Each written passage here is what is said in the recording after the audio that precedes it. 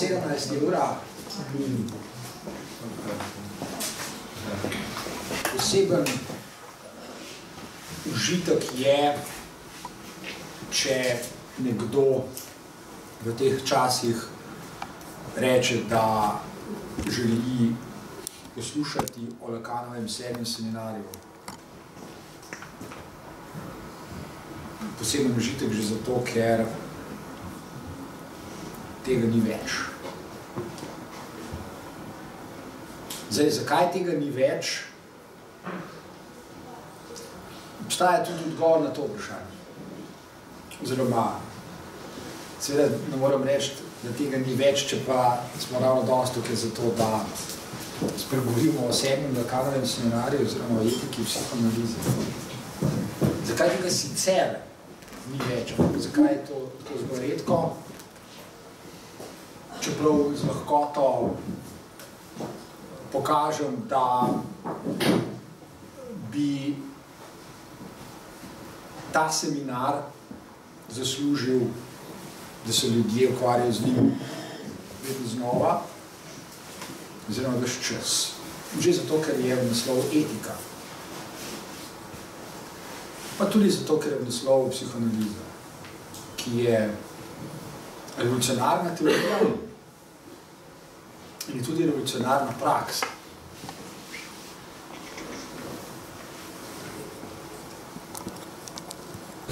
Zah, torej, razmišljanje o sedmem lokalnem seminarju je zahtevno, zato ker je sam seminar zahteven.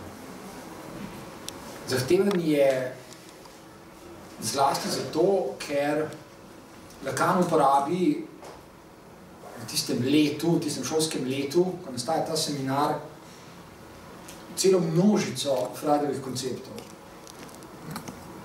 Ne pravi samo enega ali dveh, ampak jih uporablja tako kot orodja, ki jih nekdo potrebuje, da naredi določeno, pravi določeno delo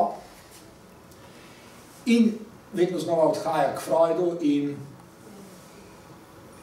od njega, se od njega sposoja njegove koncepte, zato je branje tega seminarja zahtevno, ker je hkrati z branjem samega seminarja koristno in smiselno in dobro odhajati še k Freudu in brati še Freudove tekste, tako kot jih bere sam Lacan. Torej, seminar nastaja ob branju Freudovih besedil. In če ne veste kaj več o Freudovih konceptih, eh, zelo težko Lacanu sledite. Ker ne veste, odkot je vzel koncept, zlasti pa ne veste, zakaj ga je vzel. Tako da je torej branje eh, zahtevno kognitivno, hkrati je tudi časovno. Zame bo veliko časa, če niste predtem brali Freudovih besedil. In Freudove besedila se zelo splača brati predvsem zato, ker jih je napisal pionir, ker jih je napisal nekdo, ki je pravzaprav sproti iz same analitične prakse, ki jo je imel, ob večerjih razvijal še teoretske koncepte. Takih pionirjev je v celotni zgodovini zelo malo. Zelo redko kdaj se je zgodilo, da je kdo naredil kaj takega, kar je naredil Freud. Zato je zelo dobro in hkrati mu moramo biti hvaležni, da je naredil to, kar je naredil, uh, ker mu lahko sledimo po korakih, tako rekoč iz dneva v dan, iz meseca v mesec in spremljamo razvijanje vsakega posameznega eh, koncepta. In se hkrati pripričamo, da eh, Freudu konceptov ni nihče potisnil v roke, eh, pripričamo se, da se jih ni izmislil, zlasti se pripričamo, da ni goljufal, da ni delal bližnjic, se pravzaprav jih sploh ni mogel. Freud je dejansko moral uh, tudi sam čakati na razplete vsake posamične analize, ki so lahko trajale tudi zelo dolgo časa, da je lahko nadaljeval ne, z razvijanjem svojih konceptov. Branje Lakanovega sedmega seminarja in Freudovih besedil je danes zahtevno še iz enega razloga. Zahtevno je zato, ker ima posameznik danes lahko zelo hitro vtis, zelo hitro se celo pripriča, da ni nobene potrebe, ne samo po branju Lakanovih besedil, ne samo po branju Freudovih besedil, ampak da sploh ni potrebe po branju takih, tako zahtevnih, tako kompleksnih besedil. Danes se zlahka človek pripriča, da zadoščajo hitri tečaji, na katerih človek usvoji glavne poante, glavne značilnosti, neke metode. In uh, razlika med takim načinom izobraževanja in poučevanja ter na drugi strani Lakanovim in Freudovim delom je velikanska. Medtem, ko je Lakan razvijal koncepte seminarije 27 let, je Freud razvijal svoje psihodelične koncepte več kot pol stoletja. Več kot 50 let. Od leta 1886 do smrti leta 1939. To je 53 let. A si sploh predstavljate, kaj to pomeni? Ukvarjati se z nekim področjem, primer človekove duševnosti, več kot 50 let. In razvijati misli, ki se ob tem porajajo, in spreminjati, nadgrajevati, ker nikoli nisi popolnoma zadovoljen z njimi. Vselej so lahko še kompleksnejše, vselej nastaja zarejeva občutek, da je treba še kaj povedati, da je treba biti še bolj natančen, še bolj precizen, treba biti še bolj sofisticiran, ali pa, kar je še težje, vedno znova spoznavaš, da si se nekaj zmotil, da si nekaj vendarle, kljub vsej pezljivosti, povedal prehitro, da si naredil logično napako, ali pa kaj podobno. Torej, če si predstavljate več kot pol stoletja dela enega človeka in potem 27 let komentarjev k delu tega enega človeka. Jaz si, naprimer. Jaz si to lahko predstavljam. In uh, ne upam trditi, in tudi nikoli ne bom trdil, da je podkončana, češ ni več kaj povedati. Ali pa celo, kar delajo številni, da je Freud zastarel. Ali pa da se z Lakanom ni treba ukvarjati, ker je razvijal žargon, ki, ki je preprosto nesmiselno. Jaz poznam vrsto ljudi, ki ki to zatrjujejo. Nisem pripričan, da so dobro prebrali eno Freudovo knjigo.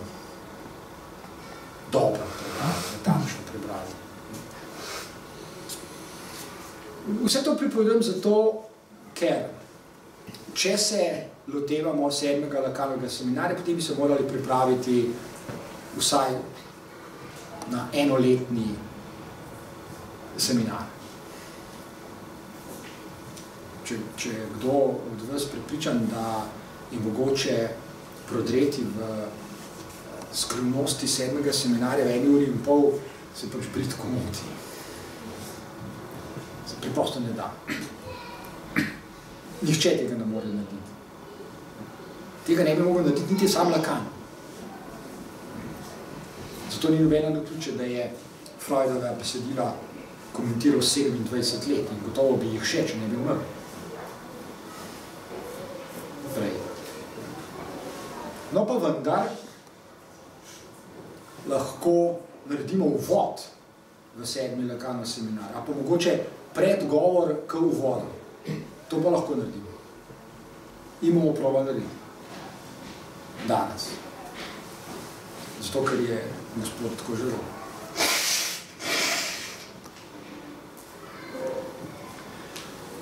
Začnimo pa nekje drugje. Začnimo z morda prevladujočo izkušnjo sodobnega človeka, se pravi nas samih. Ne trdim, da nujno tako je, trdim pa, da bi lahko ta izkušnja, o kateri bom spregovoril, bila prevladujoča. In ko bomo opisali to izkušnjo, smo že v, globoko v psihoanalizi. To je zanimivo. Kako lahko vsakdanjo izkušnjo opišemo v treh, štirih korakih in smo že globoko zabredli v psihoanalizo, ne da bi se tega sploh zavedali, ne da bi sploh vedeli, da smo to naredili. Gre za izkušnjo, ki jo ima vsak od vas. In to je, ta izkušnja ima v resnici dve, dve razsežnosti. Ima dve, dve pobočji, tako se reče. Ena, eno pobočje je, da v naših življenjih, vsaj nevidezno, vsaj v imaginarijih, vse bolj prevladuje načelo ugodja. Načelo ugodja, zaradi katerega smo lahko prepričani, da smo nakupičili dovolj dobrin,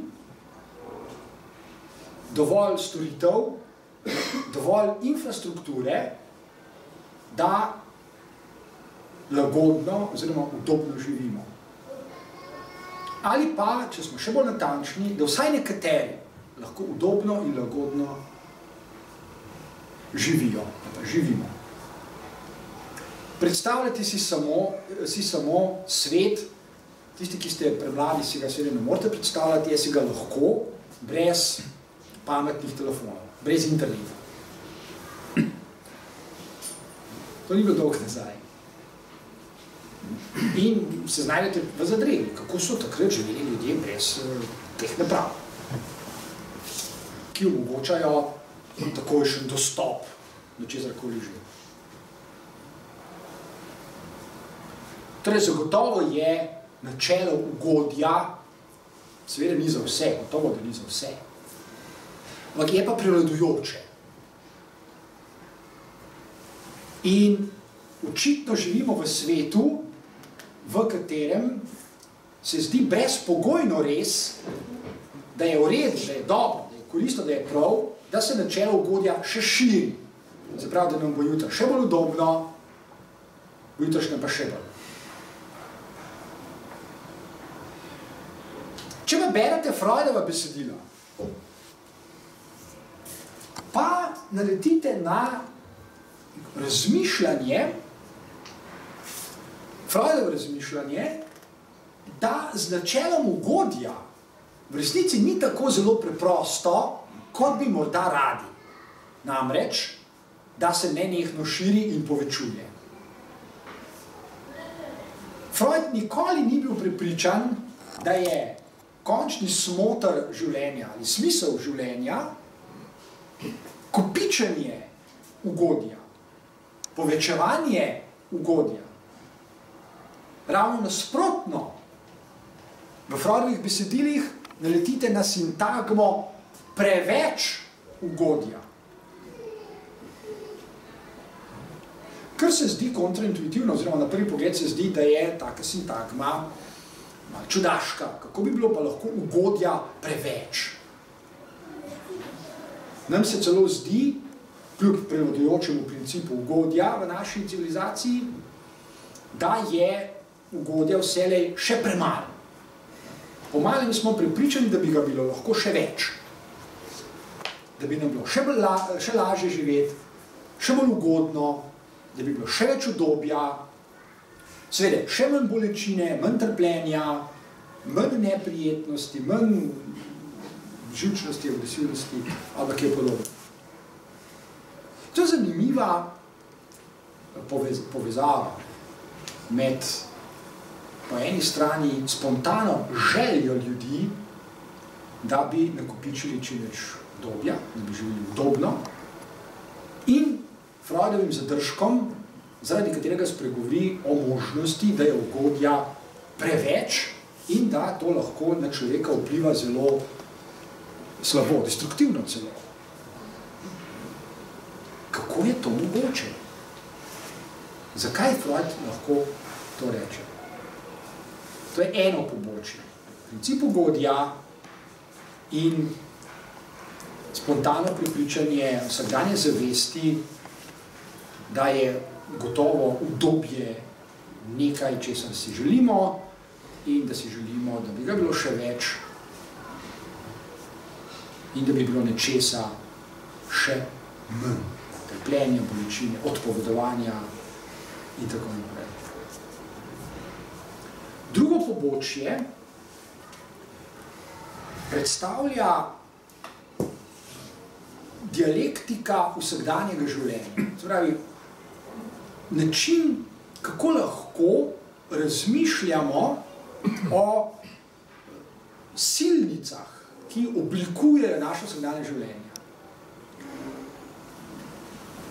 Vsi vemo, da, in se to tudi veliko krat tam zgodi, da smo prepričani, verjamemo, da obstajajo v svetu sile dobrega in sile zla. Ali pa, da obstajajo ne vem, politična desnica in politična levica. Da obstajajo možnosti in pogoji za spore in konflikte. Kjer obstajajo različne nasprotujoče si strani, je možen spor, možen konflikt. In obstaja množica različic istega razmišljanja. Ženski princip proti moškemu principu, mladi proti starim in tako dalje in tako dalje in tako dalje. Pa vendar nas vsakdanja izkušnja vedno znova prepričuje, da živimo v svetu, v katerem ni čisto tako. Da živimo v svetu, v katerem je opoziciji nasproti konfliktov vse manj. Naprimer, politiki in številni ekonomisti vas iz dneva v dan prepričujejo, da je kapitalizem najboljši način družbenega življenja vseh časov in da nima nobenega nasprotnika. Še nekaj desetletij nazaj je obstajal tak nasprotnik v obliki sovjetskega tipa, jugoslovanskega, pa kitajskega tipa socializma, kot se temu reklo, zdaj tega ni več. Kapitalizem je zmogoslaven, nima nobenega nasprotnika, nobenega omembe vrednega nasprotnika in ljudje, ki ga zagovarjajo, ki ga zastopajo, se zdi upravičeno, trdijo, da je najboljši možni in da bo tako na veke vekov. Da torej ni nobenega smiselnega razloga, da bi se upirali, da bi ponujali alternative, ker jih kratko malo ni. To je najširši okvir naših življenj, znotraj katerega nas dnevno prepričujejo, da so klasične, tradicionalne opozicije ki sem jih prej nekaj naštel, preprosto izginejo. Niso več relevantne, niso pertinentne, niso več smiselne, oziroma kratko malo ne obstajajo. Kar pomeni, da v tej luči, v tej perspektivi, ljudje ne ostane nič drugega, kot da preprosto sprejmejo svet tak, kakršen je, ugotovijo, da pač je, kakršen je, in se sprijaznijo, da bo jutri tudi tak, kakršen je, v najboljšem primeru, seveda, če se ne bo kakšna katastrofa zgodila, oziroma naenkrat je jasno, da ono prvo razmišljanje o prevladi principa ugodja perfektno dopolnjuje to drugo razmišljanje o prevladi enega samega načina življenja, ki se imenuje kapitalizem, ki nima nobene alternative, kar seveda vodi k sklepu, da je kapitalizem način življenja, ki povečuje princip ugodja in ga bo počasi, če ga bomo pustili pri miru, razširil čez vse ljudi, čez cel svet. Drugo ime za to je globalizacija. O tem poslušamo iz dneva v dan. Da je to nekaj dobrega, da je to nekaj, kar, za, za kar se je treba truditi, prizadevati, da je to treba podpirati in da se bo počasi razširilo na vse ljudi. To je mantra vsakega mainstreamovskega politika, mantra vsakega mainstreamovskega ekonomista in mantra velikega števila ljudi. Zelo preprosta struktura vsakdanjega življenja, ki nam obljublja več istega oziroma več ugodja. In zdaj smo že, kot rečeno, zelo globoko, kaj ti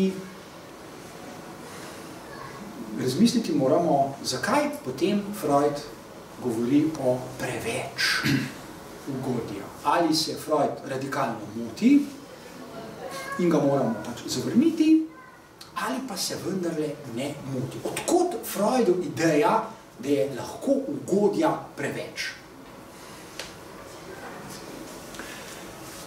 Da bi odgovorili na to vprašanje, potrebujemo drug koncept.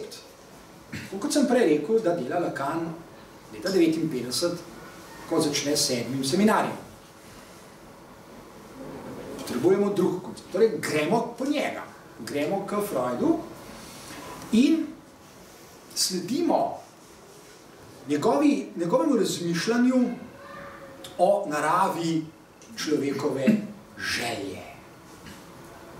Sej ni težko uganiti, da potrebujemo natanko koncept želje.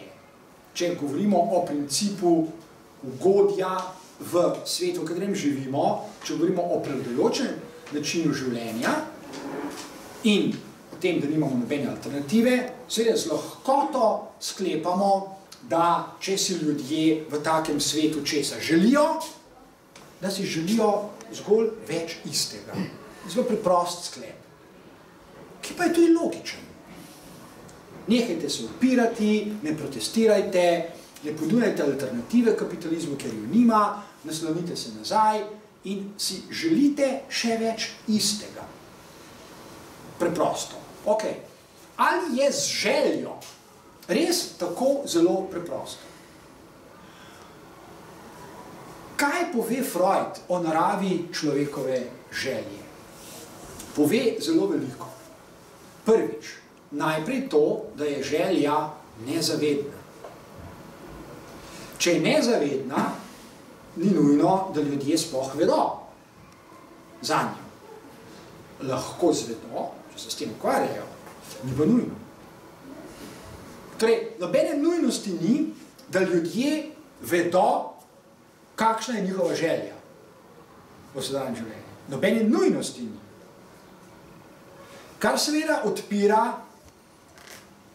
polje, znotraj katerega je mogoče, kot se reče po domače, z ljudmi manipulirati. In propaganda je že eden od načinov, kako znotraj tega polja manipulirati z željo ljudi.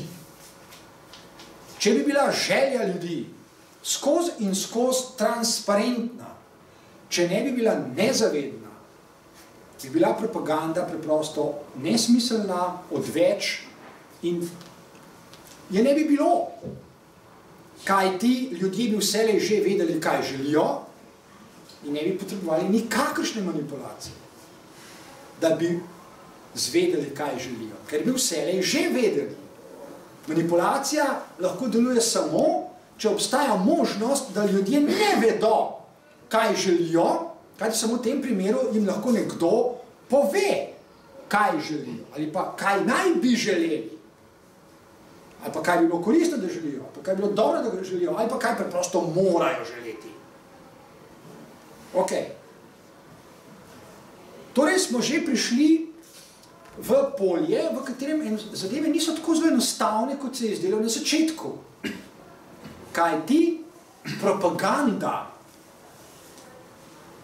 nikoli znotraj kapitalizma ne more delovati tako, da bi, bil, ali pa, da bi bili njeni nosilci zares iskreno uh, na strani ljudi, naprimer potrošnikov, kaj ti v tem primeru ne bi govorili o manipulaciji, bi govorili o nečem drugem. In kasneje bomo o tem tudi spregovorili. Namreč potegnili bomo usporednico gledali, kako je z željo, s pacijentovo željo v analitičnem procesu. Sedanje življenje ni analitični proces. Sedanje življenje je čisto nekaj drugega. In seveda v tej perspektivi se že postavlja tudi vprašanje, kako je možen analitičen proces. Če bi bile zadeve transparentne, razvidne, jasne, tudi analitičen proces ne bi bil niti potreben, niti smiseln. Zadoščali bi, naprimer, če bi se kaj zalomilo pri ljudeh, psihiatrija. Zadoščala bi psihiatrija. Psihiatrija pa farmacija, seveda. Psihiatrija bi razdeljevala tablete, ki jih razdeljala farmacija in ljudje bi svoje težave na ta način odpravljali. Ampak vsi vemo, da ni čisto tako in da ne gre čisto tako. Zadeva malo bolj zapletena. Zato se lahko vrnemo nazaj. Se pravi, v sedanjem življenju je možno manipuliranje s človeškimi željami natanko zato, ker je želja nezavedna, kar pomeni, da ni nujno, da ljudje vedo, kakšna je njihova želja. Da ni nujno, da vedo, kaj želijo v svojem življenju. Okay, nobene nujnosti ni še enkrat poudarjam. Ali obstaja možnost, da ljudje ugotovijo, kakšna je njihova nezavedna želja. Sve je. Obstaja možnost, da to ugotovijo. Naprimer tako, da prebirajo Freudova dela. Ali pa tako, da pač probajo kako drugače razmišljati o lastni nezavedni želji, kar pa ni enostavno početi. S tem se boste najprej strinjali, če je nezavedna, kako naj pridem do nje. Kako naj zavest pride do tega, kar je nezavedno. Potrebujemo metodo. Intuicija ne pomaga je prekratka, ker je povezana s paradoksom. Zavest ne more prodreti v nezavedno. Enostavno ne gre, ker je to tuje področje, zato pa je nezavedno. In za zavest je nezavedno vselej nezavedno. Zato ni res, motijo vse ljudje, ko mislijo, da lahko s pomočjo recimo, introspekcije razmišljanja o sebi, poglabljanjem v sebe, odpri, od, od, odkrijejo nezavedno. Preprosto ne morejo, logično je to nemogoče. Nezavedno se odmika tako kot obzorje za zavest. Potrebna je torej metoda. Naprimer, tista, ki jo ponudi Freud. Lahko odkrijemo kaj je nezavedno, naprimer simptome, lahko jih detektiramo, lahko jih prepoznamo, ampak samo, če imamo vednost, če imamo znanje in če imamo metodo, če vemo, kako se to naredi. Zato ni naključje, da Freud prvo veliko delo, ki ga Freud napiše, mi zdi, da je leta 1900, oziroma z letnico 1900, je Die Traumdeutung. Se pravi, interpretiranje sanj. Interpretiranje sanj Freud imenuje kraljevska pot do nezavednega. Prek analize sanj pridemo do nezavednega, se spustimo k nezavednemu. Ampak to pomeni, da moramo znati interpretirati sanje, tega se moramo naučiti, imeti moramo metodo in seveda imeti moramo znanje, zakaj je to sploh smiselno narediti. Mi moramo vedeti, kaj sanje so, kako sanje nastanajo. In Freud nam, naprimer, v dveh takih knjigah nam to tudi pove. Če tega ne preberemo, če se ne pozanimamo, če nimamo metode, za nas kraljevska pot do nezavednega ne obstaja. Ne moramo se spustiti do nezavednega. Ok? Gremo nazaj torej k logiki želja. Kaj pomeni da je želja nezavedna, najprej pomeni torej, da je za nas dolgo časa neznanka. In da, vsaj v sedanjem imaginarnem svetu, namesto nezavedne želje, prepoznavamo zavestne želje. Vsak človek lahko pove, česa se želi v življenju. Vsak človek lahko naredi spisek ne, lastnih želja. To je nič posebnega. Ampak to nima nobene resne zveze z nezavedno željo. Po drugi strani lahko rečemo mimo grede, da ima želja, nezavedna želja, seveda, svoj objekt, ki naj bi željo tudi zadovoljil. V sedanjem imaginarnem svetu je to preprosto. Želim si kolo, kolo tudi dobim, kolo je objekt želje, ko sem ga dobil, sem svojo željo potešil, sem zadovoljil in sem zadovoljen. Ampak vsi vemo iz izkušenj, da ni vse le tako. Včasih je, včasih pa preprosto ni. Takrat se sprašujemo, kako je mogoče, dobil sem objekt želje, pa vendar nisem zadovoljen. Zakaj nisem zadovoljen? In seveda ob tem se moramo vprašati, kaj pa je objekt nezavedne želje. Objekt nezavedne želje je zelo, zelo nenavaden in ga ni enostavno misli. Ker je narava nezavedne želje drugačna od zavestne želje. Je zadeva preprosta, pa vendar so včasih zapleti. Narava nezavedne želje je pa bistveno drugačno. Njek objekt je namreč zelo nenavaden. Pravzaprav je malo čudaški. Zato Lacan iznajde tudi poseben izraz za zanj. In ga imenuje objekt mali a. In ga zapiše z malo črko a. To je drugače kot naravni imaginarne zavestne želje. Tam so objekti taki, da jih z lahkoto poimenujemo. Želim si kolo, želim si to, želim si um, želim si zdravje, želim si mir.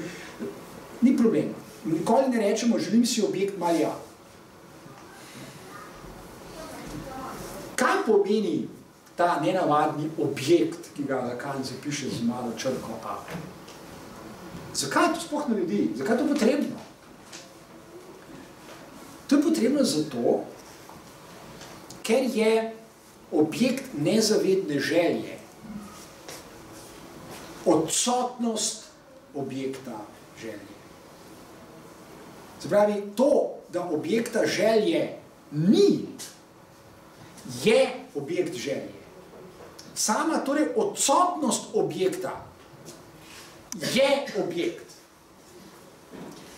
Kar dopušča možnost, da na mesto odsotnega objekta, ki ga Lacan znači s malo črko A, postavimo katerikoli objekt. Zbravi, katerikoli objekt iz našega fenomenološkega, imaginarnega, vsakdanjega življenja se lahko znajde na mestu tega objekta in lahko deluje kot objekt nezavedne želje. Sicer ni objekt želje, lahko pa deluje kot objekt želje, kar pomeni, da lahko sprošča oziroma sproža uh, realne učinke. Zdaj, človek, posamezni človek, kot želeče bitje, kot bitje, ki ima nezavedno željo, seveda vzpostavi tudi odnos do tega objekta želje, tako oziroma podobno, kot ljudje sicer postavljamo um, obje, torej odnose do objektov želje. Ko si želimo objektov želje, ko si želimo, to tudi čutimo. Čutimo kot hrpenenje, kot, um, posebno um, stanje, duševno, mentalno stanje, naprimer vznemirjanja, ki ga spremlja pričakovanje in tako dalje. Tu si poznamo. In se tudi veselimo, da bomo objekt želje naprimer, dobili. Zdaj, čez en mesec, bo v svet delal sezname objektov želja in bo pričakoval tisti, tisto noč, tisti, tisti večer, pač kar je, a ne, ljudje imajo različni, različne načine, kako, kdaj odpirajo darila, ampak v določenem trenutku bo v svet, skoraj v svet, no, odpiral darila, objekte, za katere njihovi bližnji verjamajo, da so pravi objekti želje pač tistega, ki bo, ki bo darilo dobil, ki bo, ki bo odprl darilo. To je praksa, ki jo pozna na svet. Na že dolgo časa. Nič posebnega. Pa vendar ni čisto tako. Ker spet, če bi bilo tako, potem psihologiji preprosto ne potrebujejo. Te bi rečel, tako je, fajn, v redu. Pa ni, in nikoli ni bilo in ne more biti tako preprosto. Torej, zato vsak človek vzpostavi poseben odnos do objekta želje in vse skupaj, posameznik, odnos in objekt želje Lacan poimenuje po Freudu z enim izrazom. Imenuje fantazma. Vse to skupaj, se pravi, posameznik, človek, ko želeče biti je odnos do objekta nezavedne želje, je fantazma. Tudi Freud uporablja izraz za vse to, samo da je malo drugačen. Freud govori o imaginarnem scenariju. Posameznik, kot želeče bitje, živi skladno z takim imaginarnim scenarijem, v katerem je predvideno, kako naj bi se dokopal do objekta želje in kaj objekt želje sploh je. In fantazma je najprej nezaveden, torej ne ta imaginarni scenarij je najprej nezaveden, ker je tudi nezavedna želja. Kar potrjuje to, kar smo že rekli. Človek spontano ne ve, po katerem scenariju živi. Ne ve, kateri je objekt njegove nezavedne želje, ampak kljub temu, da tega ne ve, živi po takem scenariju, ker je vsele že vzpostavil odnos do objekta svoje nezavedne želje, ta odnos je nezaveden. Pravi, človek živi po nekem scenariju, ne da bi se ga zavedal, ne da bi imel kakršen koli upogled v ta scenarij. Zdi se, kot da bi živel naslepo. Sveda ne živi čisto naslepo, ker scenarij nezavedni scenarij, imaginarni scenarij, zelo jasen. Je zelo jasen. Nobenega kaosa ni, nobenega nereda ni. No, ne, to ne pomeni, da se znajdeš sredi džungle in naviš kanit. Ne, ne, ravno nasprotno je res. Nezavedni scenarij ima zelo jasno pot. Zato se tudi ljudje, kot že reče bitja, obnašajo skladno s tem spoznanjem, kaj, kar pomeni, da so nezavedno zelo občutljivi, ali še gredo po poti, ki je predvidena v imaginarnem scenariju, ali pa ne. In vsako odstopanje, če jih naprimer, zanese s poti, doživijo kot nekaj neprijetnega, kot nekaj, kar jih vznemiri. V sedanjem življenju vsi to poznamo. Ko nas nekaj vznemiri, ko ni tako, kot mi nezavedno želimo, pogosto postanemo agresivni, postanemo napadalni, ali pa vsaj vznemirjeni, ali pa vsaj čisto mčkano napeti, to ni važno. To nas po definiciji vznemiri, zdaj odstopanje od tega, kar je predvideno, ker je natančno predvideno v tem imaginarnem scenariju. Imaginarni scenarij pomeni, da si nezavedno predstavljamo, naprimer, kaj bi se moralo dogajati v svetu, v katerem živimo. Kaj bi se moralo dogajati z nami, kaj bi se moralo dogajati okrog nas. V scenariju je predvideno, kako bi se morali drugi ljudje obnašati do nas. Da bo naša nezavedna želja zadovoljena. In če se stvari ne dogajajo skladno s scenarijem, in mi ga ne poznamo, ker je nezaveden, nas to vznemiri. In potem norimo. Ne vemo, zakaj norimo, ampak še kar norimo. In se trudimo, da bi se spet vse skupaj, naše življenje, naše medsebojne odnosi, vedenje drugih ljudi in tako naprej, kot se reče, spravilo v stare tirnice.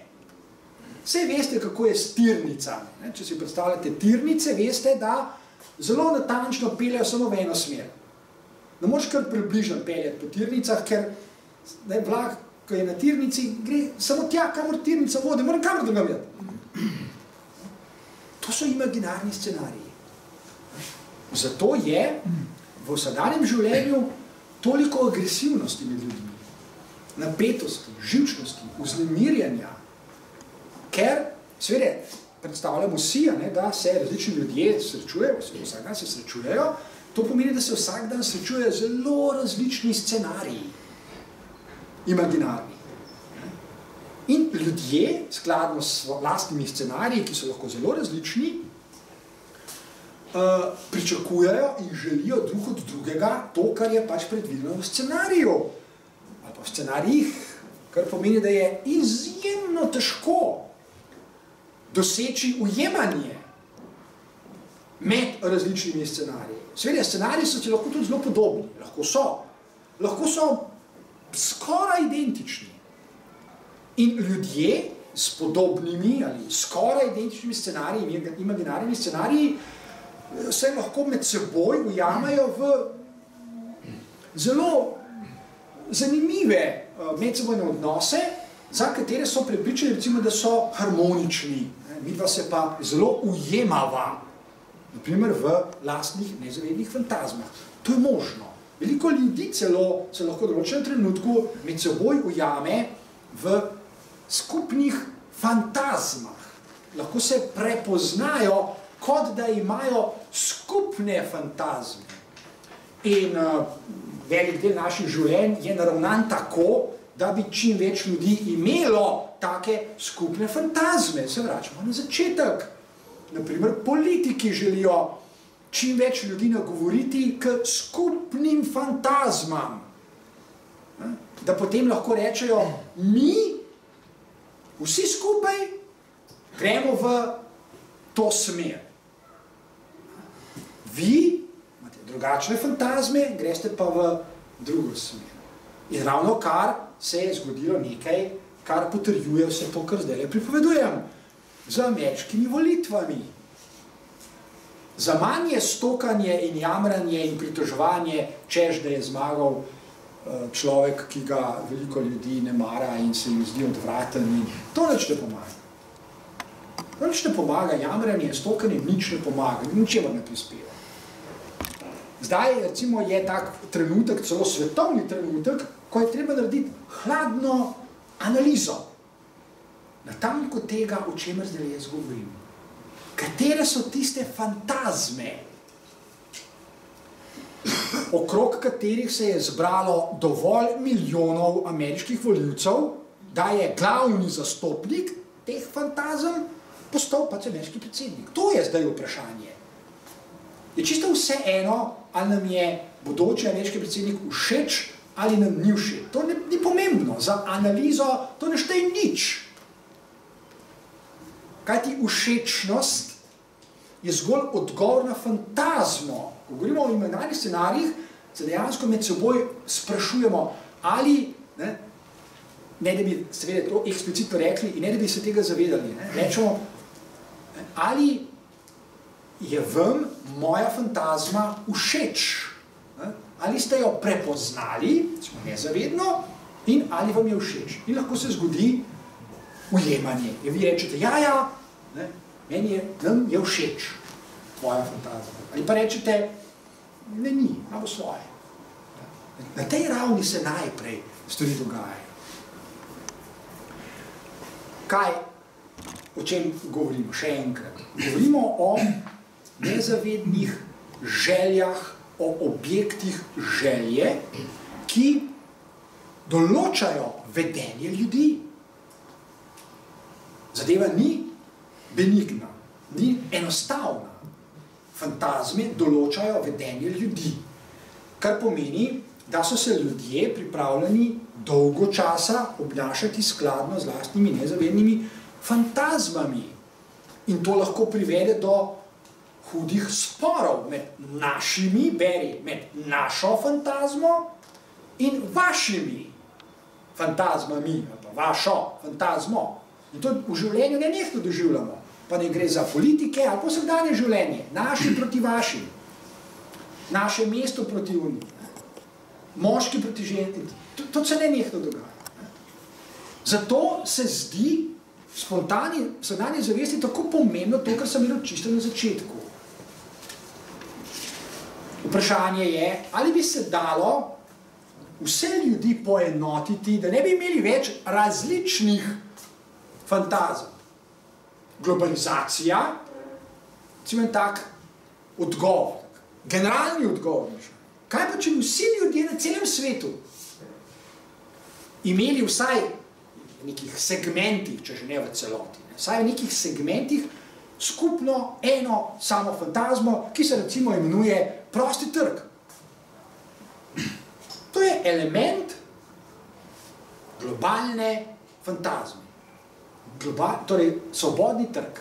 Ne trgi urejajo naše medsebojne življenje.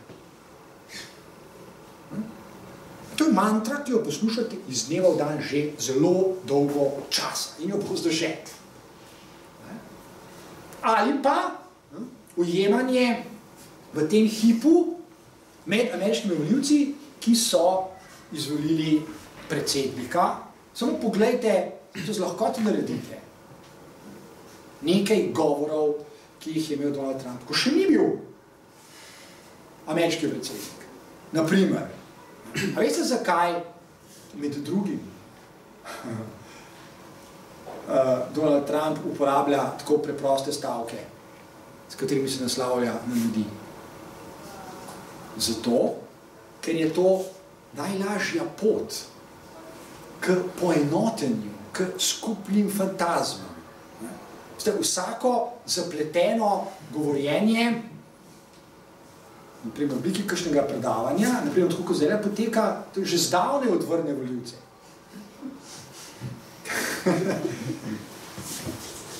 To, je, to je lahko, ne, lahko je to zanimiv problem vsakega človeka, ki se znajde tukaj na tem kraju. To je lahko zanimiv problem, ni nujno, da je, lahko pa je. Namreč, vsak, ki se znajde na tem kraju, bi lahko imel v svoji glavi natanko enako vprašanje, kot ga ima, ali pa ga je imel Donald Trump. Kako naj nagovorim ljudi, ki so pred mano, da jim bom všeč? Kako naj artikuliram svojo fantazmo, da se bodo drugi prek lastnih fantazem prepoznali v njej? To niso enostavne zadeve. Jaz nisem sicer politik, Jaz nisem politik, kar pomeni, da nisem tukaj zato, da me vi izvolite ali pa da sem vam všeč. Hvala Bogu. Zato ne rabim vam podtikati svojih fantazij. Zato sem sploh lahko to, kar sem, predavatelj, ki lahko analizira fantazme, namesto da jih podtika. Politiki jih pa ne more analizirati, on jih mora nekako ponuditi. In več ljudi, ko se odzove, bolje za njega. V tem primeru je to dobro. Naprimer, zato je v političnem govoru treba uporabljati naprimer, kratke slogane, kratke stavke, da bi se ljudje čim prej prepoznali. Naprimer, če gledate njegove, njegove, njegove stavke, ki jih uporablja. Ne vem, zgradil bom 30 metrov visok zid na meji z Mehko. To, to je zelo preprosta izjava, ki jo razume slehernik, vsakdo je razume, to ni zapleten stavek. In seveda je hkrati metafora, da bomo zunaj pustili vse, ki jih ne maramo, ki jih nočemo, da k nam pridejo, ki nam kradejo delovna mesta, ki so kriminalci, poseljevalci in tako naprej. Ljudje so navdušeni, tako deluje fantazma. Scenarij je to. Ne? ki ga z lahkoto tudi nadaljujemo. Aha, jutri bomo zgradili mo, uh, tale zid, fajn, toliko manj ljudi bo prišlo v Ameriko, super, toliko več delovnih mest bo za nas, toliko več denarja bo, ker bomo imeli delo, delo in plače in fajn. Tako deluje fantazija. Ali pa, nobeno muslimano ne bomo dovolili, ali pa še tiste, ki jih imamo, bomo izvozili na luno. Ljudje rečejo bravo. Veste, to, je, to so elementi analize, ki nam pa pomaga pojasniti, zakaj je zmagal Donald Trump, ne pa recimo Hillary Clinton. Torej, gremo nazaj. Zdaj smo prišli od začetnega razmišljanja, ki je v resnici totalitarno. To zdaj lahko rečemo. Totalitarno razmišljanje je tisto, ki ukine vsaj na vides, v imaginarijih, notranja nasprotja, ni več notranjih kontradikcij. Vsi smo za, karkoli že. Vsak totalitarizem deluje potem predvsem, pa ne gre za fašizem, nacizem, eh, socializem sovjetskega tipa ali komunizem, kako smo rekli, ali pa za sodobni neoliberalni kapitalizem. Temeljno vprašanje je, kako organizirati svet, da se bo čim več ljudi poenotilo v svojih mnenjih o njem. Se bodo med seboj vsaj nevidezno strinjali, kakšen je svet, da se bodo strinjali bolj natančno s scenariji, v katerih je predvideno, kako se obnašati v prihodnosti. In seveda, temeljni princip, ki podpira delovanje nezavednih fantazem, ki so podprte z nezavednimi željami, je princip ugodja. Je princip ugodja.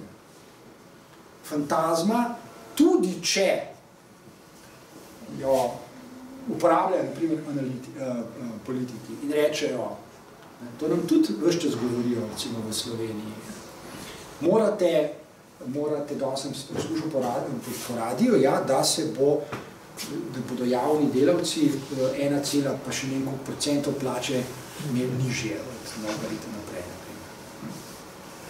Če spet s konceptom fantazme pristopite k govorom, recimo politikov, politikov tudi takrat, ko rečejo kaj neprijaznega, pa neprijetnega, če zmanjšali vam bomo plače, morajo nemudoma dodati nekaj iz registra principa ugodja. Mi vam bomo sicer plače malo zmanjšali, ampak zato bo pa kasneje več ugodja za vas.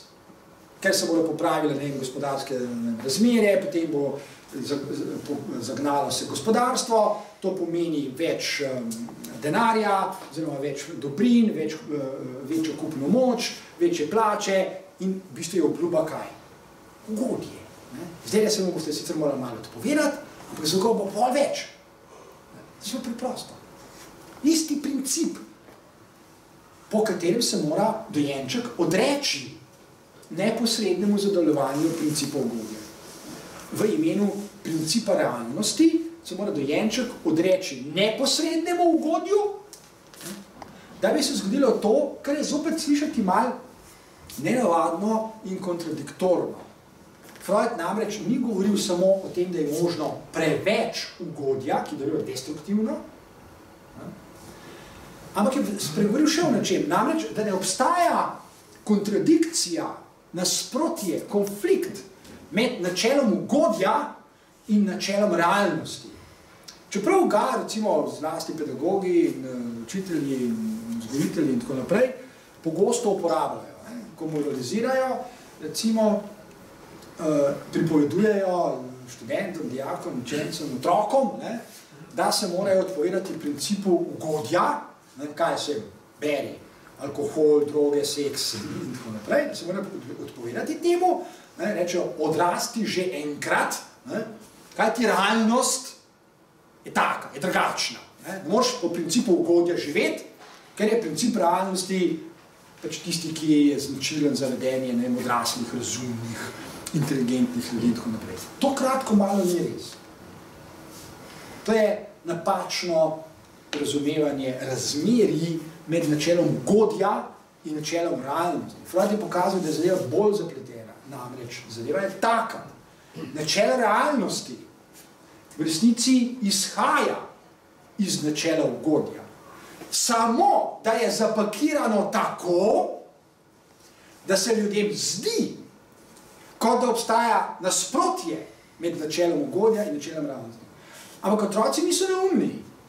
In otroci vedo, da odrasli glih tako žurirajo, kot oni. Samo da to znajo mogoče malo bolj prikrit ali pa skrit ali pa pač nekako zapakirati, da ni videti tako. Ampak otroci vejo, da je glih tako. Otroci se naučijo v tem smislu, da je princip realnosti pravzaprav manipuliranje z principom ugodja, kar pomeni. In to tu poslušamo vsak dan. Ne? A, ne? Ali, torej, vprašanje je za odrasle, ne? vprašanje je, ali lahko uživamo tako, da smo jo dobili. Beri, Bavčar, Janša, Žbljaj. In če so dovolj spritni, ne, vsi vemo, da žurirajo, ampak ker so dovolj spritni, in noben bliz ne more. Ampak ta isti ljudje ne, bi lahko otrokom težili, češ, veste, morate odrast, morate se obnašati bolj razumno, ne, načelo ugodja ne sme prevladati, ker je treba delati, ne, treba se je odpovedati. My ass! To delajo samo naivneži. Samo naivneži verjamajo, da je to res. Da je treba uh, biti pošten, da je treba trdo delati, da se je treba odrekati neposrednemu užitku, zato da bomo imeli kasneje, ne vem, da je treba šparati in tako dalje in tako dalje. Pa to vidimo, to vsem na, na očeh, cel svet vidi naumnost vsega tega. Cel svet to vidi. Kaj pa je kapitalizem, če ni eno samo neskončno, gigantsko povečevanje razlik med tistimi, ki uživajo in kopičijo užitek v neskončnost in vsemi drugimi, ki nimajo nič. Pa imamo je zelo malo. To drugo ime za kapitalizem. In fantazma, primer globalizacije, je, da če se bodo vsi držali pravil igre, beri, principa realnosti, bodo oni tudi nekoč lahko uživali, bodo delali nekaj in tako naprej. Ampak to se ne bo nikoli zgodilo, to je, ker to je imaginari. Imaginari se najlažje predstavljamo tako, da si zamislimo obzorje in se vprašamo, kdaj ga bomo dosegli. Nikoli! Ker je zgolj iluzija, da je obzorje tamle na koncu in da lahko do tja pridemo. Vse to vsi vemo, že dolgo časa. Pa vendar v vsakdanjem življenju nezavedno, nenehno pristajamo na tanko na isto. Vsake volitve niso nič drugega kot taka šarada, ne, tako sprenevedanje. Zdaj bomo pa izvolili osebe X, zdaj bomo počitali. Ne, osebe X se razlikujejo od oseb Y zgolj po fantazmi. Osebe X vam samo drugo fantazmo ponujejo. Nič drugega.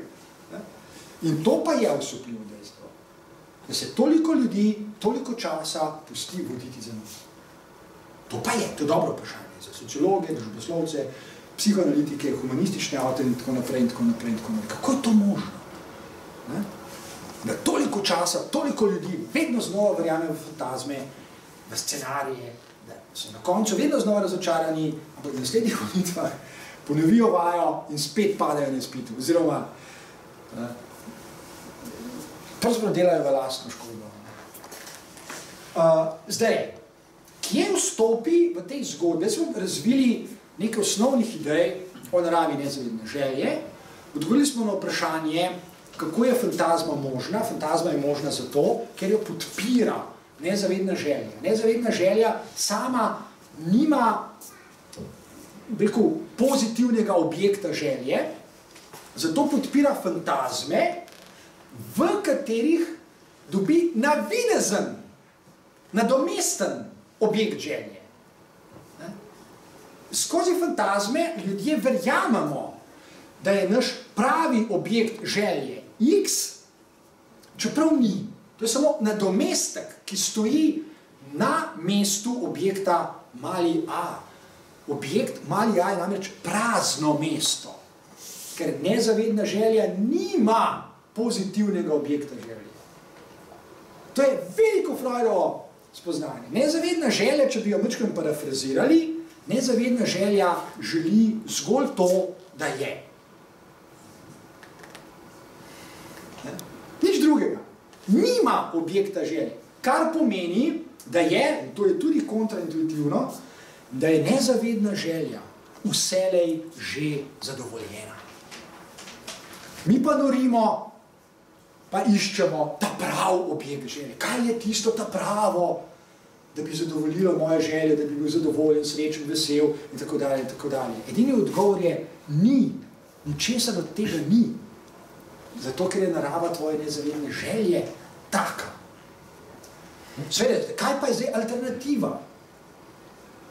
Po eni strani v teh imaginarnih, v imaginarnih svetovih vsi ljudje bolj ali manj sledijo svojim fantazmam in so vedno znova razočarani, ker drugače ne more biti. Razočarani so malo, razočarani so več, to ni važno, ampak vedno znova so. Oziroma, obstaja še alternativni scenarij, namreč z nezavedno željo, z nezavedno željo, oziroma z nezavedno fantazijo, mogoče tako spretno tudi živeti, da skozi celo življenje ohraniš fantazmo.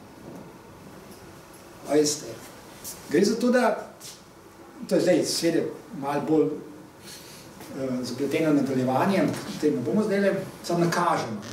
Fantazma se pravzaprav, da bi ostala fantazma, nikoli ne sme realizirati. Pravzaprav, ker se ne more, se tudi ne sme. Ne? Ker je objekt želje, je vedno imaginaren. Se pravi, ne sme se realizirati, ne more se in nekateri ljudje lahko tako spretno krmarjajo svoje nezvedne fantazme, da dejansko nikoli do tega ne prije. Kar, kar pomeni kaj? Čisto enostavno rečeno, da ne nehno hrepenite po nečem, tega sicer nikoli ne dobite, ampak se zadovoljite s samim hrepenenjem. Kot da bi rekli, ok, meni zadošča, da hrepenim po objektu X, tudi če ga nikoli ne dobim. In to je možno. Na ta način je možno živeti tudi vse življenje. In seveda se s tem izognemo razočaranju. Ob spoznanju, joj, vse življenje sem mislil, da je to ta pravi objekt moje želje, na, zdaj ugotovim, da ni in sledi razočaranje. Če se temu izognete, ni razočaranja. Itak se nikoli nisem ničesar želel, tudi če ničesar nisem dobil, nisem razočaran, vse se nikoli nisem ničesar želel. Ampak tudi v tem primeru zadeva ni tako zelo enostavna, sam gremo zdaj nazaj. Torej, imamo nezavedno željo. Imamo scenarije, ki jih podpira želja. Uh, imamo užitek, ki nam ga prinaša, zlasti, če našo fantazmo podpirajo še druge fantazme. Nam prinaša užitek, ker pomeni potrjevanje naših fantazem in seveda nas sami, naše identitete. Ljudje smo izjemno občutljivi na to, ali nas drugi potrjujejo ali ne, ali so proti nam. Mi težko prenašamo ljudi, ki so proti nam, zlasti, če so odkrito proti nam. Zelo težko prenašamo, če nas kdo, kot se reče, kritizira. Težko prenašamo, ne prenašamo zlahka. Zato, ker gre vse čas za tole našo identiteto, ki je pripeta na fantazmo. Zato bra branimo fantazmo. Ko branimo svojo identiteto, v resnici branimo najprej fantazmo. Ne vzemite mi mojega imaginarnega scenarija, jaz še naprej hočem živeti po njem. Ne vzemite mi ga, ne preprečujte mi, da bi živel po svojem imaginarnem scenariju. In seveda, človek lahko tak scenarij tudi vedno znova obrani. Ni si, da to enostavno narediti, ampak lahko ga obrani. Lahko ga obrani pred drugimi, pred napadalci, pred kritiki in tako dalje. Zlasti, če je njegov scenarij ali njen scenarij tak, da je zelo podoben scenarijem drugih ljudi. Zato imajo ljudje tako zelo radi besedo normalno. Beseda normalno označuje en ozek segment vsakdanjega življenja, znotraj katerega so si fantazme ljudi zelo podobne. In ker so si zelo podobne, se ljudje dobro počutijo. Zato, ker drug drugega potrjujejo v teh fantazmah. Pravzaprav drug drugega na nek način hvalijo. So si všeč. Beri, všeč so jim fantazme, po katerih živijo. Normalnost je torej izraz za tak način življenja, pa za take načine življenja, pri katerih ljudje pustijo fantazme drug drugega primeru. Jaz bom pustil tvoj primer, ti pa pustiš mojo primer.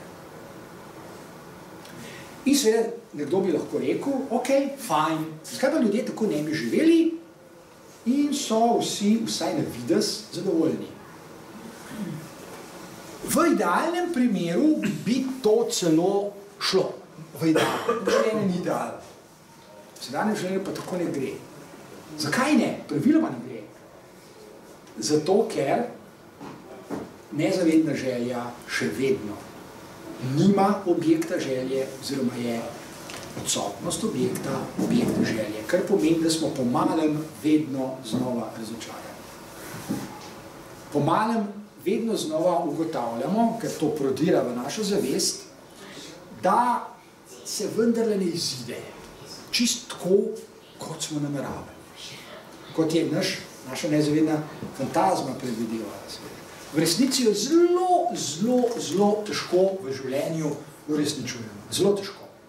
Zato smo praviloma razočarani. In ker smo razočarani, se to razočaranje pridružuje temu, kar sem že prej omenil, agresivnosti. Oziroma zavesti. Mi smo zelo občutljivi za to, ali drugim ljudem njihove fantazme pa uspevajo. In jim zavidamo, če jim uspevajo. Ali pa če se nam saj zdi, da jim uspevajo. Da jim uspe živeti skladno s svojimi fantazmami. Torej, v imaginarijih, vse to se dogaja v imaginarijih, smo zelo, zelo občutljivi in zato je med nami veliko agresivnosti. In veliko razočaran, ker je zelo majhna verjetnost, da bomo svoje fantazme uspeli tako dobro krmariti, da nam bo to prinašalo zadovoljstvo. Tudi ljudje, ki se to ne, neč ne pomaga, veste, čisto vse eno je, a je človek, čisto pač navaden človek, ali pa je direktor ali pa ne predsednik države. Logika fantazme je za vse enaka. Ampak tudi v tem smislu so ljudje pripravljeni verjeti, da ne, nekomu, kaj se kje, ne, kot se reče, ne, zgoraj ali pa na položaju ali pa kje ne vem kaj, njemu gre pa lažje. Ne gre. Ameriški predsednik čisto nič bolje ne živi, materialno že, se vidi, materialno že, gotovo. Ampak v tem smislu, kaj mi danes govorimo, govorimo o logiki fantazme, predsedniško mesto ne rešuje ničesar. Morda se sicer zdi, ker imaš več materialnih dobrin, imaš več denarja, imaš več infrastrukture, ki ti je podrejena, da lažje uresničuješ svoje fantazme, to se lahko kdaj zgodi. To se, to se recimo zgodilo leta 2003, ko je Bush mlajši šel bombardirati Irak. In je bil cel svet proti njemu, ampak ga je vse šel bombardirati. Ne. Včasih se torej zgodi to, seveda, imaš dovolj moči, dovolj infrastrukture, dovolj denarja, dovolj materialnih dobrin, dovolj podpore, da lahko narediš kaj iz tega imaginarnega scenarija. Ampak čisto osebno, začer, ko gre Bush spat, naprimer, ne, uh, ne čisto bolj sreča, pa bolj zadovoljen kot ne vem, kdorkoli Sam zaradi tega, ker je predsednik že ne. Okay. Ampak ljudje so tudi to pripravljeni verjeti, če bom ne vem, zaslužil, če bom napredoval, če bom ne vem kam prišel, ne vem kateri položaj, da bom polk je drugače. Z vidika fantazme je čisto vse, da ste tukaj ali pa na luni. To je naravni proces, to je naravna zakonitost. Nič vam ne pomaga. In tudi to je lahko del fantazme. Če bom pa nekaj dosegel, če bom nekam prišel, če bom zdaj... Ne, to nas tudi ljubijo vsak dan. Sledite svojim sanjem. To je samo eufemizem za to, kar zdaj le pripovedujem. Sledite svojim fantazmom. Odgovor je, jaz se to že počnemo. Zato že vse življenje počnemo. Včasih, a veste, na kaj nas danes pravzaprav skušajo uh, namamiti? Danes nas skušajo prepričati, da bomo svoje fantazme lažje organizirali oziroma realizirali, če bomo imeli denarja. Če bomo imeli več denarja, bo pa to lažje narediti. Ampak, kot sem že prej rekel, ne bo. Razočaranje je enako. Zato tudi ljudje to intuitivno vedo, ne? da bogati ljudje mislim, še bolj srečni od, od tistih, ki niso bogati. Ker gre za logiko fantazme. Morda lahko kdaj kakšno stvar lažje uresničijo, ampak overall, ne, vse skupaj, ko pogledamo, potegnemo črto, čistič bolje se, se ne, ne godi. Ne? Zdaj, kot rečeno, kje tukaj vstopi psihoetika? Zakaj sploh spregovoriti o etiki, če bi pa lahko rekli, ja, lej, tako je, smo pač tako nesrečno narejeni, da je nezavedna želja pa tako malo čudna, da se naši scenariji vse ne izidejo, ali pa da se zelo redko kdaj izidejo, pa lahko bi skomitili, zakaj mi povedal, vse končni faz, kaj ne bi Če zmeram nismo begunci iz Sirije, tle v Sloveniji je čisto v redu, Slovenija je mehna dežela, luštna, lepa, prijazna tako naprej, tam je morje, tam je gore Triglav, prek Murske ravnice, kaj nam je pa hudega, zdaj če malo vsaj približujemo službico, ali pa vsaj, če smo študenti starši, ki nas preživljajo, kaj nam je pa hudega. In prvi odgovor bi lahko bil vse res. Nič. Ok, tako pač je, tako bo še naprej, ok, gremo domov. Uh, lahko pa zadevo seveda pogledamo še iz enega drugega razornega kota in skušamo odgovoriti na vprašanje, zakaj je razmišljeno o etičnosti pa vendarle pomembno. No, zdaj pa poglejmo vod, kaj reče Lacan v semen seminarju, ko upelje princip, osnovni, začetni princip, ki nam omogoča govoriti o etiki. Spomnite se, ko smo že o tem govorili, in tudi Lacan nas na to upozori, spomnite se zgodbe, ki je napisal Sophocles in Antigona. In si poskušate odgovoriti na vprašanje, zakaj Antigona naredi to, kar naredi. Zakaj Antigona ne reče na tanko tega, kar smo mi rekli pet minut nazaj. Vojne je konec, pol je neki mrtev, ker on je naš kralj, eh, ne smemo ga pokopati, ker je on tako rekel, ker so take zakoni v redu, gremo domov. Zakaj ne reče tega? Zakaj se zdi, da je nespametna, da trmo glavi in da ustraja pri nečem, ker v bistvu vse skupaj pelje v franže? In bi človek moral reči, Sofoklej je napisal zgodbo ravno o tem, kako se ne obnašati.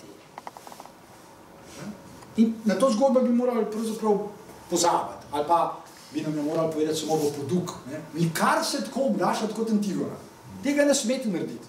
Ne? To bi lahko naredili na srednji šoli, na srednji šoli, ko jim pripredavajo o Antigoni. Nikar se nikoli ne obnašajte kot Antigona, naj vam bo v poduk, ne? nehite težiti, sprijaznite se, če pridete v, v tak podoben položaj, kot je bila ona, in merdajte. Sploh pa treba kraljev Boga. Ne moreš kar kralju se upirati.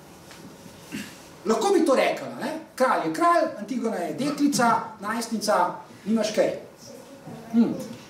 Sploh so pa zakoni na, kralj, na kraljevi strani. Obnašaj se normalno, tako kot vsi drugi, in da mir. In v redu. Ampak ona reče, malo morgen, ne bom. Zakaj pa ne? E. Antigona seveda tega ne ve, Lacan pa ve, ker se je učil pri Freudu. Freud se pa učil od svojih pacijentk. In zdaj, preden nadaljujemo, si poglejmo eno lekcijo, ki jo je Freud dobil od svojih pacijentk. To je zelo dobra lekcija, izvrstna lekcija. In poglejmo, kaj se dogaja, ko pacijent, pacijentka pride v analizo. Pacijent pride v analizo zato, ker se je znašel v svojem življenju eni zagati. Znašel se je pred enim vprašanjem. Pred vprašanjem, ki bi ga lahko parafraziral takole, kako živeti naprej. Tako kot je šlo do zdaj, ne gre več, moje trpljenje je preveliko, težav se je nabralo, simptomi so tudi neznosni, jaz tako naprej živeti ne morem. In bistveno pri tem je, da Freudove pacijentke niso begunci iz Sirije, niso ljudje, kot se reče, z družbenega dna, niso. To niso pretepene ženske, naprimer pacijentke, niso pretepene, niso posiljene, niso zlorabljene tako ali drugače, niso. Če bi rekel malo na hiter, bi z lahko to rekel, to so normalne ženske iz Dunajskega okolja, celo so razmerno dobro jim gre v življenju. So razmerno dobro jim gre pripadnice recimo srednjega družbenega razreda. Zelo normalno živijo. Skladno s tem, kar sem prej. Zelo normalno živijo. Zakaj ti zelo normalni ljudje pridejo k Freudu analizo, če so zelo normalni? Kako to možno?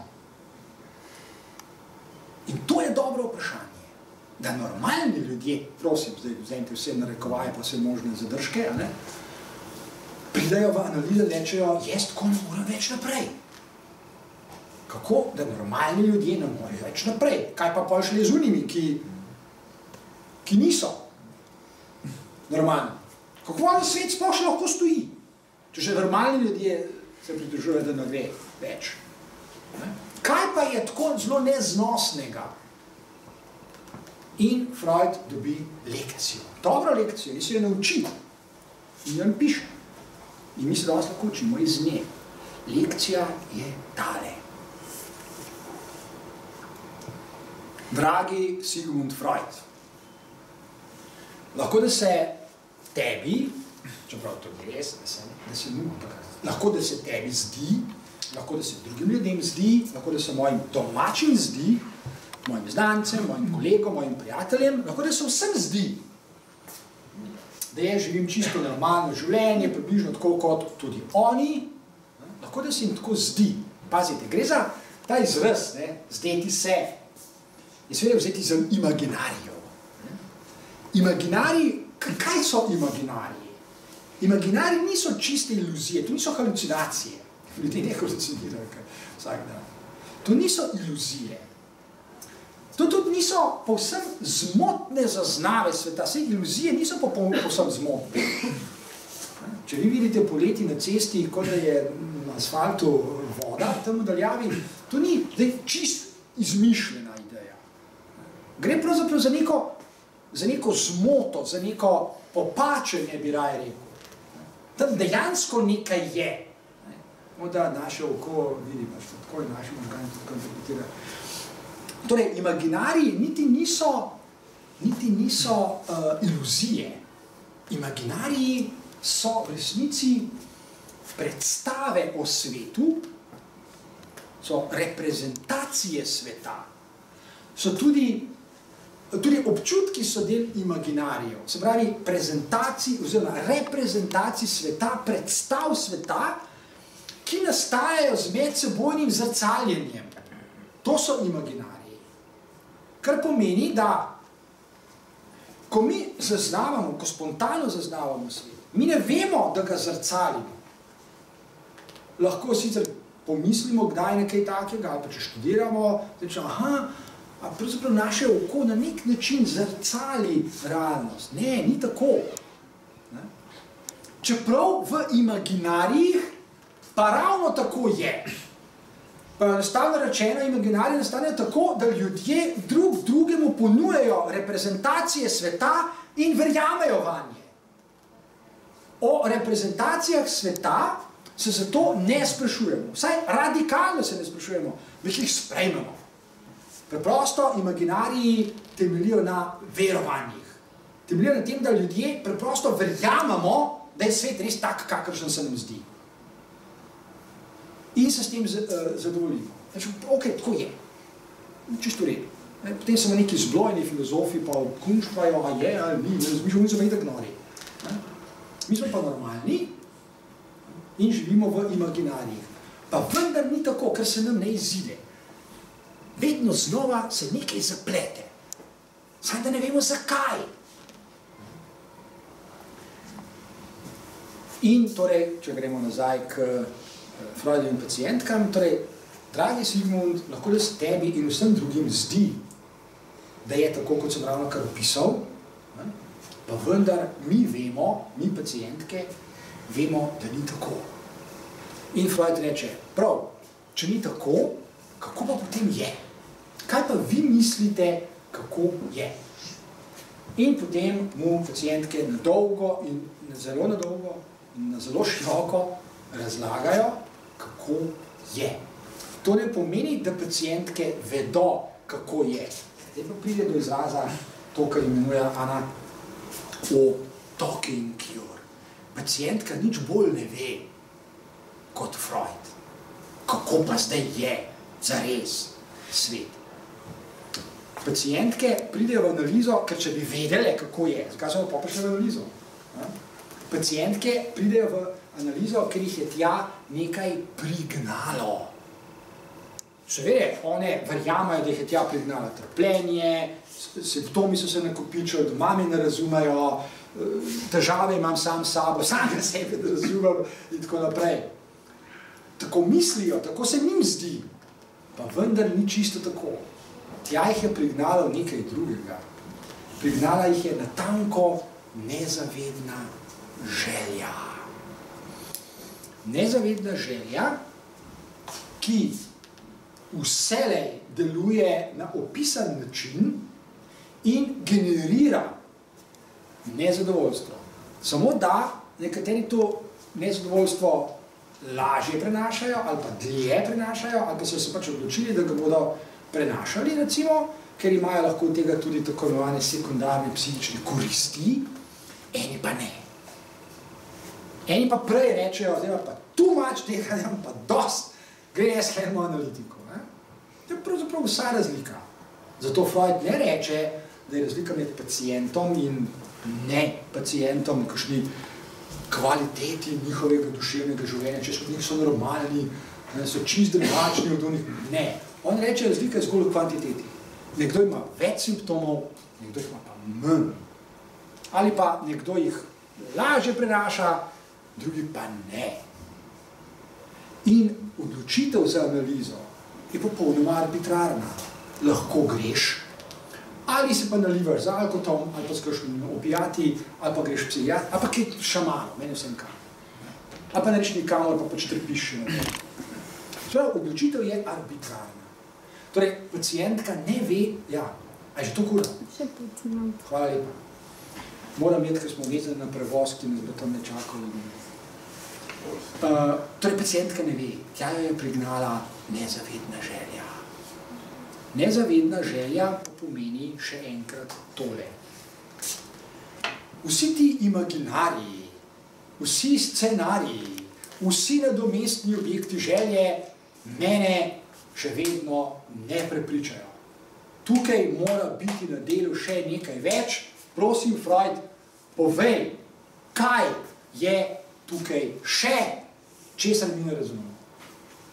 In Freud počasi spozna, da gre na tanko za potlačitev nečesa.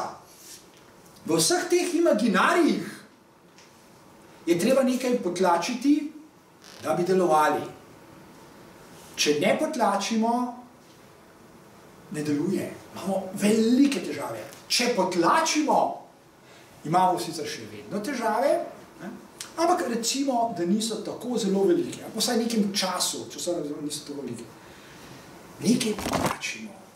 In Freud reče, ha, oziroma se vpraša in takoj ponudi tudi odgovor in mi bomo tukaj končali, pa bomo nadaljevali naslednjič. Freud reče, ha, če nekaj potlačimo, tukaj pride zelo do izraza njegovo mehanicistično razmišljanje ob koncu 19. stoletja, ne, v principu parnega stroja.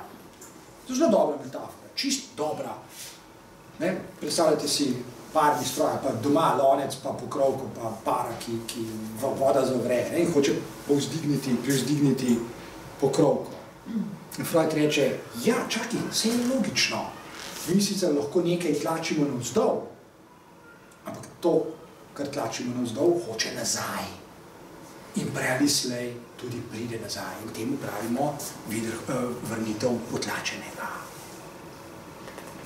Potlačeno se bo prej ali slej tudi vrnilo v obliki težav in simptomov. In ko pacijentka pride s težavami k Freudu, on ve, da je sicer prišla zaradi težav, jasno, ker je s tem težko živeti, v resnici pa prišla zato, ker se je nekaj, kar je vse življenje tlačila, vrnilo. Ker toliko časa potlačitev deluje, človek lahko še kar živi tisto normalno. Ko pa udre potlačeno nazaj, v zavest, ne, je pa konc zgodbe. Takrat pa več ne gre. In tukaj se pa seveda začne resen uvod v razmislek o etiki. Vprašanje namreč je, ali je potem prav, da nekaj vse čas tlačimo, da se vrne in imamo težave, ali pa bi bilo morda bolje narediti nekaj drugega, da tistega sploh ne tlačimo od sebe, ampak se s tistim soočimo iz oči v oči in pogledamo, zakaj tlačimo, kaj tlačimo ne? in kakšno škodo si s tem povzročimo. To je uvod v etiko. Etika je način razmišljanja o tem vprašanju, ki nam pove, obstaja način življenja, v katerem pa ne potlačimo, ne tiščimo nečesa proč, ampak naredimo nekaj drugega. Kaj pa naslednjič? Bomo pa. Thank you.